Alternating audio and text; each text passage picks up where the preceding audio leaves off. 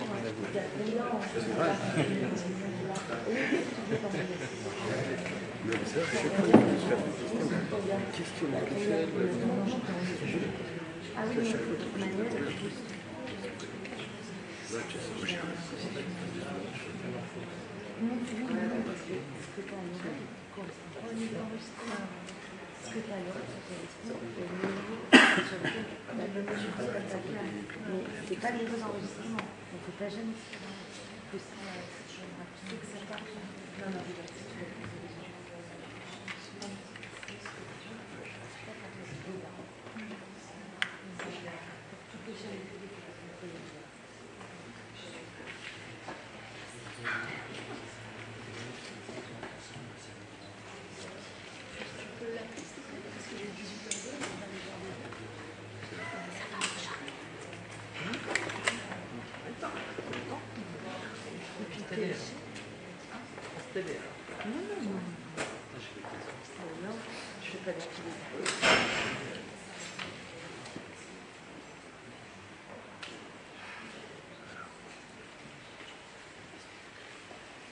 T'enchaînes sur le truc derrière Je commence à dire, c'est avec le contrôle des quotidiens.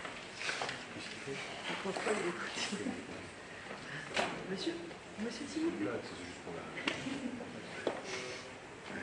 Après, il va se donner des détails. hein. Pour que je- Ah, parce qu'il y a la nouvelle réglementation qui est passée, c'est-à-dire que tu dois porter un casque, un gilet jaune, pas d'écouteurs et ne pas aller plus de 25 km. Et si tu fais quelque chose de pas bien, tu Ah, Si t'as fait combien j'ai j'ai manqué de 40 Si t'as ton permis, ça. Non. Non. Oh, juste pognon, pognon, pognon.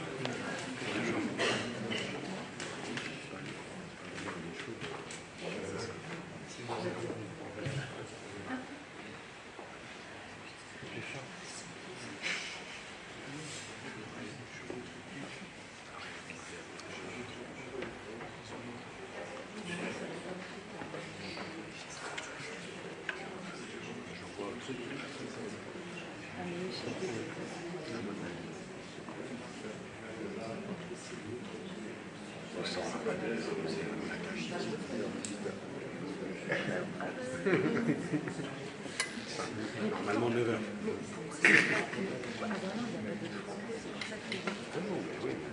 Parfois, il pouvait être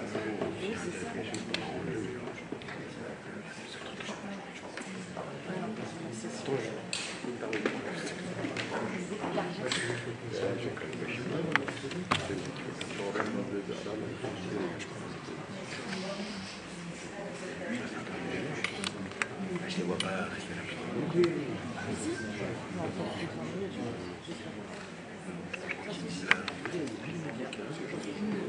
Non, non, je dis que tu as dit, tu vas aller à la je fais un truc. Je dit, j'ai bien touché quand même. On dirait qu'il y a des gens. Ah ouais. C'est pas faux. Rien à branler. Je suis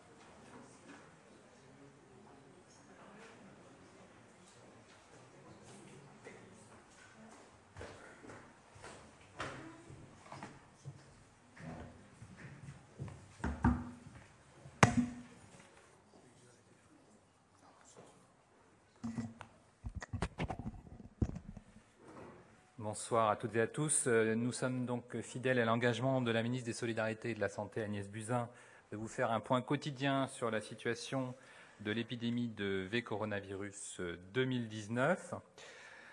Un point qui sera, si vous en êtes d'accord, quotidien euh, tous les soirs de cette semaine aux alentours de 18 heures. Et donc, euh, nous ferons régulièrement un point de situation épidémiologique et un point sur la situation en France. En ce qui concerne la situation épidémiologique, vous notez que les chiffres évoluent régulièrement et qu'ils sont donnés donc presque en temps réel par les autorités sanitaires internationales. Nous sommes actuellement à 2886 cas confirmés et 81 décès. Donc l'essentiel de l'épidémie reste en Chine, puisqu'il y reste 61 cas en dehors de Chine, dans 15 pays aujourd'hui.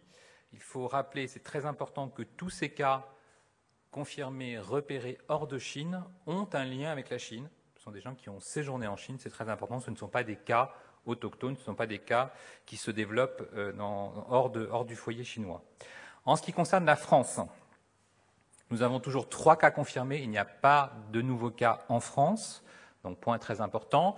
Je tiens à vous dire qu'il y a régulièrement des signalements, des gens qui appellent le centre 15 pour poser des questions, pour être éventuellement euh, classés par un médecin. Et donc, quand le centre 15 considère qu'il y a une exposition et des symptômes évocateurs, il y a un avis d'un médecin spécialiste infectiologue. Et si un cas est classé comme possible, la personne est prise en charge par un transport dédié pour être hospitalisée dans un service de maladies infectieuses spécialisé et donc, on rappelle qu'il faut appeler le centre 15, qu'il ne faut pas se rendre chez son médecin traitant dans un cabinet médical ou aux urgences, mais bien appeler le centre 15 pour être pris en charge et classé. Tous les cas possibles bénéficient d'un test dont le résultat est donné en quelques heures. Et donc, les tests qui ont pu avoir lieu samedi, dimanche ou aujourd'hui sont tous négatifs et nous vous tiendrons informés tous les jours de ces résultats et de l'éventualité d'un cas confirmé. Quelques mots sur les, messages clés que je souhaitais vous faire passer sur euh, les moyens efficaces de lutter contre une épidémie, puisqu'on voit beaucoup de choses actuellement, en particulier en Chine ou en France. Je pense que la position prise par Agnès Buzyn est fondamentale et très importante, c'est de rappeler que l'essentiel est basé sur l'information de tous, la transparence sur les données disponibles et surtout, on compte sur vous sur la lutte contre les fake news. Deuxième point important, vous avez noté que la Chine applique des mesures de confinement très importantes qui freinent la diffusion du virus en restreignant les, déplacements de population et les contacts rapprochés, notamment dans les transports en commun. La réduction des contacts est très importante puisqu'une personne contagieuse, si elle n'a plus de contact avec une personne non malade, ne peut plus transmettre le virus. C'est le cas en Chine. C'est le cas aussi en France pour les personnes contacts des trois cas confirmés qui ont reçu ces consignes de ne pas avoir de contact avec des personnes non malades. Et ce sera le cas aussi de nos concitoyens qui sont rapatriés dans les prochains jours sur décision du Premier ministre depuis Wuhan vers la France par un vol direct et qui bénéficieront dans un lieu dédié d'un suivi personnalisé bi-quotidien pendant 14 jours.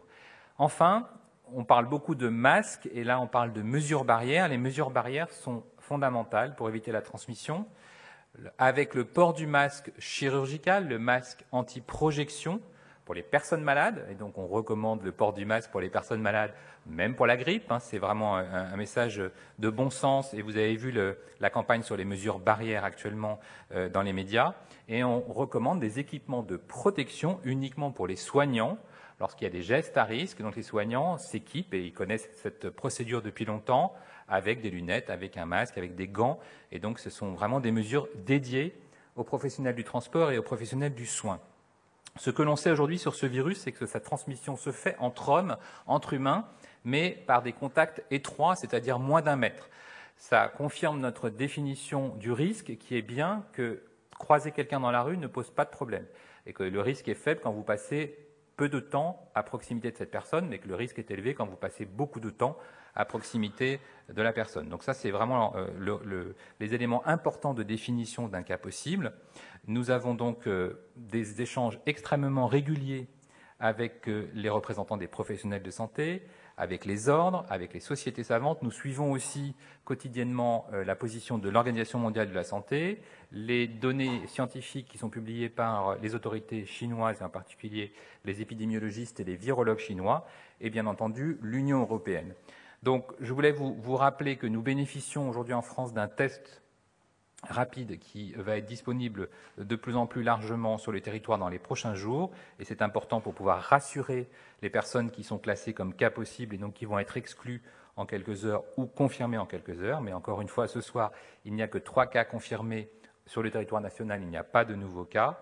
Et pour vous dire aussi, puisque euh, nous avons eu souvent la question, que le rapatriement s'organise très activement, je vous rappelle que ce rapatriement se fait par évidemment un vol spécial, que ce vol spécial sera accompagné euh, euh, et qu'une équipe médicale dédiée sera à bord pour rassurer nos compatriotes à l'arrivée à Wuhan, pour, leur, pour répondre à leurs questions, pour les examiner. Et bien entendu, l'idée est de ne pas mélanger des personnes malades avec des personnes non malades, mais de proposer une prise en charge individualisée dans un établissement de santé pour les personnes qui seront malades et dans un établissement d'accueil, d'hébergement pour les personnes qui ne seront pas malades mais qui auront besoin de ce suivi renforcé pendant 14 jours. Ce ne sera pas un établissement de santé. Cet établissement et ce lieu sont en cours de sélection. Enfin, euh, nous avons vraiment besoin d'informer les professionnels de santé et d'entendre leurs questions, leurs interrogations euh, ou leurs propositions. Et donc, nous organiserons euh, dans les prochains jours une réunion avec l'ensemble des représentants des professionnels de santé, les sociétés savantes, les fédérations, pour garder ce contact indispensable entre les autorités sanitaires et les professionnels de santé. Je vous remercie.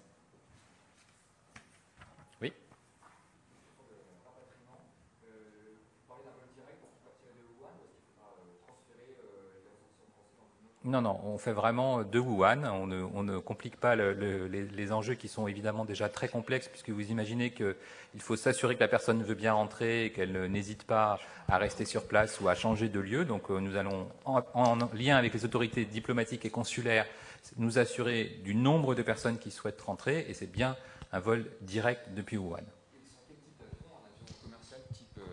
Type euh, Air France ou un avion militaire, en fait, ce qu'on sait nous sommes, en cours de sélection de ce vecteur en fonction du nombre de personnes concernées et en fonction aussi de ce ratio entre les personnes qui vont bien et les personnes qui seraient éventuellement avec des symptômes. Est-ce qu'il n'y aura que des Français à bord? On, parle peut-être d'Allemands qui pourraient profiter de cet avion pour euh, être rapatriés Comme vous le savez, il y a des mécanismes de coopération européenne, d'entraide européenne, et donc c'est exactement euh, les discussions qui ont lieu en ce moment entre les différents pays européens, puisque nous pouvons activer un mécanisme d'entraide européenne pour euh, effectivement avoir une action concertée avec nos homologues européens. Le, fait, dernière question, que la France ait un service consulaire à Wuhan, c'est a priori le seul pays européen dans ce cas. Euh, facilite les choses et, fait de la France un peu l'organisateur pour les, les voisins Tout à fait. Il y a des relations très privilégiées entre euh, les scientifiques, les médecins et puis même les industriels français et Wuhan. Nous avons beaucoup de nos concitoyens qui sont à Wuhan et nous avons la chance d'avoir une équipe effectivement euh, d'un consulat général qui est, comme vous pouvez l'imaginer, mobilisé 24 heures sur 24 depuis le début de cette crise. Bonjour, j'ai une question sur les cas avérés. Pourquoi la France est le seul pays européen à avoir bah, du coup ces cas avérés? C'est une excellente question. Euh, l'explication n'est pas évidente. Probablement qu'effectivement, nous avons un, dispositif de signalement qui est très sensible. Vous avez noté qu'on demande à toute personne présentant des symptômes euh, de se signaler. Nous avons euh, demandé à toute personne revenant de Chine de se signaler s'il y avait des questions. Donc peut-être que le fait d'avoir ouvert l'accès au centre 15 à un très grand nombre de personnes fait qu'on peut potentiellement détecter plus facilement, plus rapidement. Et puis nous avons surtout la chance d'avoir un test rapide. Euh, et nous avons évidemment proposé à nos collègues européens de, bénéficier de ce test rapide. Vous savez que euh, dans cette épidémie qui est très récente, la description du, du, virus et son séquençage a pris huit jours, ce qui est remarquablement rapide. Et euh, quelques jours plus tard, l'Institut Pasteur avait un test diagnostic rapide. Donc on a vraiment été très réactif pour mettre en place ce test de PCR en temps réel. Et donc euh, voilà, on a un dispositif qui fonctionne. Les gens ont bien compris ce qu'il fallait faire. Les, centres 15 ont bien classé le cas avec les infectiologues. Ils ont été pris en charge.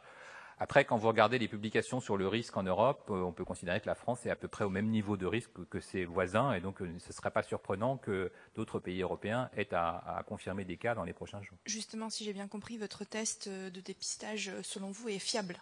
Absolument. Donc, si, euh, si c'est le cas, euh, est-ce que, par exemple, il pourrait y avoir des cas, euh, des possibles infections euh, en Europe, mais euh, qui n'ont pas bénéficié de... Je pense qu'en fait, il y, a, de ce il y a une- forte collaboration entre les équipes de virologie. hein. Ce sont des centres très, euh, très spécialisés, aussi bien en Allemagne qu'en Angleterre. Ce sont des, des spé- des spécialistes et des virologues qui se parlent en permanence, qui échangent sur les techniques, qui échangent sur les séquences. Donc, euh, on peut imaginer que le niveau de, de- de qualité et d'exigence de ce test va être le même très rapidement en Europe ou que certains pays européens demanderont à bénéficier d'un test dans un autre pays, mais ça se fait aussi très, très facilement. Mais il est possible qu'à l'heure actuelle, il y ait des cas euh, ailleurs en Europe?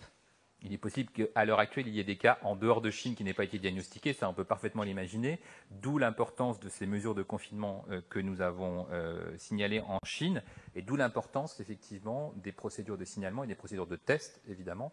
Mais vous savez qu'il y a des coopérations internationales et que beaucoup de pays mettent à disposition de pays qui n'ont pas la technologie ce type de test pour, pour pouvoir avoir accès à- à- au diagnostic le plus facilement possible. J'ai une dernière petite question concernant les cas avérés en France, euh, du coup, vu qu'ils ne sont pas, euh, ce ne sont pas des cas de, euh, du virus. Est-ce qu'ils vont, quand est-ce qu'ils vont sortir? Alors, ce sont des cas confirmés d'infection. Oui, mais Euh, ce sont des a- cas qui sont tous passés par la Chine, hein, c'est vraiment important. Ce ne sont pas des cas acquis en France. Nous les surveillons de très près pour plusieurs raisons, puisque premièrement, vous savez que dans les publications très récentes euh, scientifiques, euh, le tableau clinique commence à être mieux décrit. En général, ça commence par une forte fièvre, des maux de tête, une toux, euh, puis rapidement des symptômes plus respiratoires au bout de, de 7 à 8 jours, ce que l'on appelle en général une pneumonie virale ou, une surinfection bactérienne. Et donc, nous, les cliniciens proposent une surveillance active de ces cas. Je pense que c'est très important. Et puis, par ailleurs, nous avons quand même un élément important qui est la contagiosité. On ne sait pas grand-chose de la contagiosité d'une personne malade. Et donc, euh, comme ce sont des établissements de référence, je pense que, ces cliniciens ont à cœur de s'assurer que la personne n'a plus de contagiosité par des tests biologiques performants, comme justement ce test PCR, pour trouver ou non le virus, avant de libérer euh, les personnes. Non, ça sera une décision totalement euh, du, de- du ressort du, du clinicien chef de service. Les six cas suspects, ils ont été écartés du coup? Alors, on ne parle pas de cas suspects. En fait, quand vous vous signalez, vous vous dites est-ce que je suis ou pas à risque? J'ai voyagé au Japon. j'ai-. Et donc, soit on vous dit non, pas de, souci, ou euh, c'est une gastroentérite, ça n'a rien à voir avec le tableau. Enfin voilà. S'il y a une suspicion réelle, il y a une discussion avec un médecin spécialiste qui va vous poser d'autres questions. Si ce médecin spécialiste estime que vous avez besoin d'avoir le test, vous êtes classé en cas possible. Et dans ce cas-là, les cas possibles font l'objet d'un isolement dans un service spécialisé de maladies infectieuses et ils, bénéficient d'un test. Mais ça, ça se fait euh, le lundi matin ou le mardi matin pour le lundi soir ou pour le mardi soir. Donc euh, euh, ce test, il est réalisé en quelques heures. Soit le test est négatif, il n'y a plus de cas possible, le cas est exclu, soit le test est positif et ça devient un cas confirmé. Et donc ce soir, il n'y a pas de nouveaux cas confirmés, il n'y a que des résultats négatifs. Monsieur Salomon, vous parliez de l'établissement d'accueil et d'hébergement qui euh, est en cours de sélection. Alors, est-ce qu'il y aura un seul établissement d'hébergement ou plusieurs? Et est-ce que vous pouvez peut-être préciser les, critères de sélection? Alors, comme, vous l'avez bien compris, euh, l'idée pour nous est vraiment d'avoir un, un dispositif d'accueil qui permette le meilleur suivi de ces personnes, évidemment en dehors de croisements, donc on ne va pas les mettre au milieu euh, d'un flux de personnes qui ne seraient pas de retour de Chine, donc on- un endroit, où on peut les, isoler tranquillement dans un, hébergement euh, confortable avec une, une- un- une équipe médicale de suivi et à une distance raisonnable d'un établissement de santé, parce que c'est aussi possible qu'ils aient des, des inquiétudes ou qu'ils aient besoin de tests. Donc on est en train de chercher euh, ce type d'établissement. Ce ne sera pas un établissement de soins, hein. on, est, très clair, ce ne sont pas des patients qui, ont besoin de soins, ce sont des, juste des personnes qui sont sous surveillance euh, médicale. Euh, et par ailleurs, tout dépendra, euh, le, choix n'est pas fait, mais tout dépendra du nombre de personnes. Voilà. Tout, est, analysé actuellement, tout est instruit. L'idée étant voilà, d'avoir un établissement qui permette d'héberger confortablement des gens dans un endroit euh, accessible, où on ne croise pas en permanence d'autres personnes, où on peut faire du suivi médical à proximité d'un établissement de santé. Enfin, voilà, il y a une espèce de cahier des charges qui est en cours euh, d'instruction, mais on va trouver, euh, je ne suis pas inquiet sur le fait qu'on trouvera sur le territoire des lieux d'accueil pour quelques dizaines ou quelques centaines de personnes.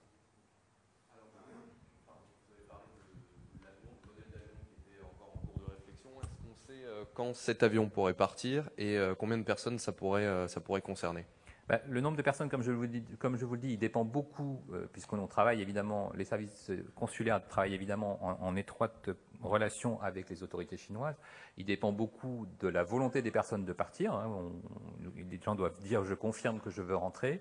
Euh, et puis, euh, donc, du nombre de personnes potentiellement intéressées qui ne seraient pas de nationalité française. Là encore, vous avez eu la question d'autres nationalités européennes. Donc, une fois qu'on aura ce nombre définitif euh, on pourra affréter le bon avion. Euh, donc je ne peux pas vous dire ce soir quel modèle d'avion, ni quelle, quelle compagnie, ni s'il est civil ou militaire, mais à la limite, peu importe, ce sera un avion dédié euh, qui sera équipé et qui sera surtout affrété d'une équipe médicale à bord pour permettre de répondre à toutes les problématiques euh, soignantes, médicales, euh, pour accompagner au mieux nos compatriotes de retour. Quant à la date, le Premier ministre nous a demandé euh, d'organiser rapidement ce, ce, rapatriement pour qu'il ait lieu avant la fin de la semaine. Donc nous respectons évidemment la consigne du Premier ministre. C'est la date limite, la fin de la semaine.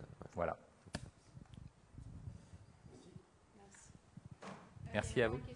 Oui. Ah, Bonsoir. En fait, j'ai deux questions. Euh, la première, quel est le, le, protocole qui est mis en place en ce moment dans les, dans les hôpitaux en termes de chambres, de confinement, etc.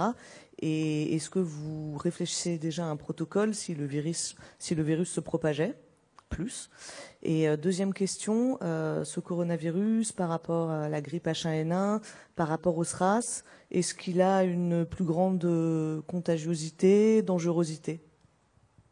Alors, première question sur comment ça se passe à l'hôpital. Euh, ça peut vous surprendre, mais c'est presque du quotidien pour un service de maladies infectieuses. Les services de maladies infectieuses ont l'habitude de pneumopathies contagieuses, euh, notamment de la grippe sévère. Euh, on l'a vu aussi avec des pneumopathies virales très contagieuses. On le voit avec la tuberculose. Donc, les soignants, quand on leur demande de mettre un patient en isolement respiratoire, ce qu'on qu appelle les précautions contact et air. C'est quelque chose d'extrêmement banal, entre guillemets. Ça peut vous surprendre. Dans un service de maladie infectieuse, ça se fait quasiment tous les jours. Donc euh, le fait que ça se passe dans une chambre seule, euh, avec ce qu'on appelle un isolement géographique à l'hôpital, qu'il y ait un isolement technique, c'est-à-dire ces précautions contact et air, et que les soignants qui rentrent s'équipent d'une surblouse, mais vous avez tous vu les images, euh, d'une protection de gants, de lunettes et de masques de protection, cette fois-ci, euh, c'est quelque chose de très connu et vraiment de parfaitement maîtrisé par les équipes soignantes de maladies infectieuses. Voilà où on en est aujourd'hui. On n'est absolument pas actuellement dans un scénario de dépassement capacitaire, hein, euh, puisque nous avons actuellement trois patients hospitalisés. Il y a 36 services de maladies infectieuses en France. Et donc, euh, nous, nous, anticipons évidemment dans l'ensemble des scénarios de crise et dans les plans de préparation à des situations sanitaires exceptionnelles ce type d'événement. Et donc, nous savons comment mobiliser les services de maladies infectieuses, comment mobiliser les services de réanimation et adapter l'offre de soins à la situation épidémique.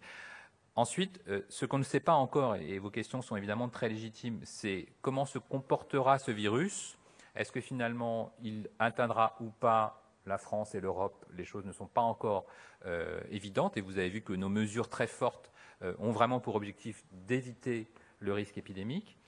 Et par ailleurs, il, y a effectivement des, éléments très importants qui nous manquent encore concernant ce virus sa capacité à s'étendre, sa contagiosité, même si on commence à avoir des publications qui donnent un R0, c'est-à-dire un taux de transmission entre 2,5 et 3,5 parmi les dernières publications, c'est-à-dire qu'un cas confirmé pourrait contaminer 2 à 3 personnes non protégées. Je vous rappelle que ce sont des données sans protection. En ce qui concerne euh, la comparaison que vous avez faite avec le SRAS, il est objectif aujourd'hui que la mortalité observée est bien inférieure à celle du SRAS, euh, puisque le SRAS était à 10%, 10 de mortalité. Euh, vous voyez qu'aujourd'hui, sur les chiffres que je vous ai produits euh, ce soir, nous avons 2886 cas et 81 décès. On est en dessous de 3%, mais en vous rappelant que le nombre de cas confirmés est bien inférieur au nombre de cas probables en Chine puisque tout le monde n'est pas forcément testé, et puis il y a probablement des gens qui ont des formes tellement mineures qu'ils ne pensent pas à se signaler parce qu'ils n'ont peut-être quasiment pas de fièvre ou des, symptômes extrêmement bénins. Donc euh, on peut estimer que le nombre de cas réels est, est, bien supérieur à ce nombre et donc automatiquement le calcul de la mortalité, nombre de morts sur nombre de cas, est beaucoup plus bas. Donc ça, c'est plutôt un élément rassurant. Mais c'est vrai que dans le début d'une épidémie, euh, on, on, a besoin d'acquérir ces données sur la contagiosité, sur la mortalité, sur les modes de transmission. Et c'est vraiment dans ces, jours, euh, d'études euh, vraiment critiques par les virologues et par les épidémiologistes que nous aurons euh, des scénarios d'évolution du virus. Et c'est pour ça qu'on travaille très étroitement avec le CDC chinois, avec le CDC européen, le CDC américain. Enfin, tous les épidémiologistes du monde sont mobilisés. Vous avez les données rendues publiques en, temps réel hein, sur les différents sites officiels. Donc, ça nous permet vraiment de partager nos connaissances au fur et à mesure qu'elles qu nous arrivent depuis la Chine. Est-ce qu'un tel rapatriement est inédit ou est-ce que ça a déjà euh, eu lieu? Euh, je ne suis pas sûr que ce soit inédit parce qu'on a déjà rapatrié nos compatriotes pour d'autres raisons, euh, après des catastrophes, après des événements de sécurité. Donc c'est pas pas quelque chose de très compliqué. Ce qui est plus compliqué, c'est effectivement de répondre à leurs inquiétudes légitimes. Ce qui est plus compliqué, c'est que vous l'avez peut-être noté, beaucoup de nos compatriotes ont leur vie sur place. Et donc certains hésitent beaucoup à, quitter la Chine parce qu'ils ont toujours vécu en Chine. et par ailleurs, euh, compte tenu des mesures que nous avons prises, des mesures de, santé publique, euh, voilà, ils, doivent aussi prendre conscience qu'ils auront un suivi personnalisé euh, et, et, cette contrainte d'hébergement sur site pendant 14 jours, mais pour des raisons de bon sens qu'ils comprennent très bien et que nos concitoyens en France comprennent aussi. Donc euh, voilà, je pense que tout doit être fait pour éviter la propagation. Ce sont des personnes qui étaient à l'épicentre de l'épidémie et qui comprennent bien que euh, voilà, pour des raisons de bon sens, on ne souhaite pas qu'ils aient un maximum de contact avec la population. J'avais une précision sur les trois cas avérés. Comment ils vont Est-ce qu'ils ont eu des complications ou est-ce Alors, ils sont, sont toujours sous suivi médical. Oui. Il n'y a pas euh, d'inquiétude majeure sur leur état. Ils ne sont pas en réanimation, c'est important. Hein, mais euh, effectivement, ce que je vous disais, c'est que euh, ils sont suivis pour la raison que je vous ai donnée tout à l'heure, c'est que l'évolution doit être suivie de près. Les cliniciens sont attentifs à une prise en charge régulière de leur situation. Et je pense qu'il y a aussi l'enjeu, le, comme je vous le disais, de contrôler leur charge virale pour être certain effectivement qu'il n'y a plus de risque de transmission lors de la sortie du patient. Les ressortissants américains qui souhaitent être rapatriés doivent payer leur billet. Est-ce que ce sera le cas des Français? Je ne crois pas, mais je ne peux pas vous, vous le dire. Mais a priori, c'est une décision du gouvernement. Donc euh, l'État français euh, répond aux inquiétudes de ses, de ses, compatriotes et donc à leur demande de rentrer en France. Je n'ai je ne, je pas entendu parler de contraintes financières. C'est bon, on fait un micro tendu de 5 minutes. C'est bon?